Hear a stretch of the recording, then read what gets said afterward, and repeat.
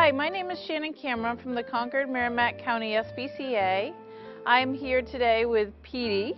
Petey is a miniature pinscher. He is an eight-year-old neutered male. He came to us um, due to his family not being able to take care of him anymore. Uh, they also had some children in the home that made Petey just a little bit nervous. As you can see, Petey is a little special. He only has three legs, but they do not slow him down or stop him.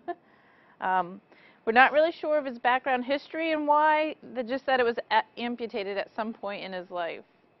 He is house trained. He doesn't mind his crates. We found that he really likes to curl up in his beds. He'll even has been known to flip them over and hide under them just like a turtle.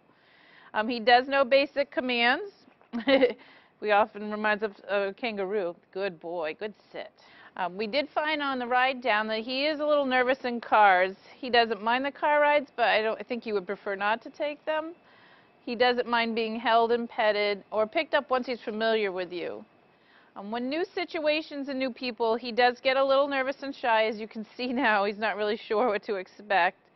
Um, but other than that, Petey is an all-around great dog that's just looking for someone to give him lots of love and snuggle time. As you watch Petey moving around, you do see that, that him only missing one leg does not slow him down. He bounces, he jumps in the cars, climbs in your lap. He does great on walks with our volunteers is known to run outside and enjoys some of the outdoor time. Oh, we should mention, due to his short hair during the winter months, it is best that he wears a coat because he gets cold very easily. And Petey actually appears to like his jacket very much. Other small dogs would be okay for Petey to have in his home, uh, and dog-savvy cats would be best. If you'd like to learn more about Petey or any of the other adoptable animals we have at the shelter, we'd be happy to have you visit our location located at 130 Washington Street in Penacook, New Hampshire.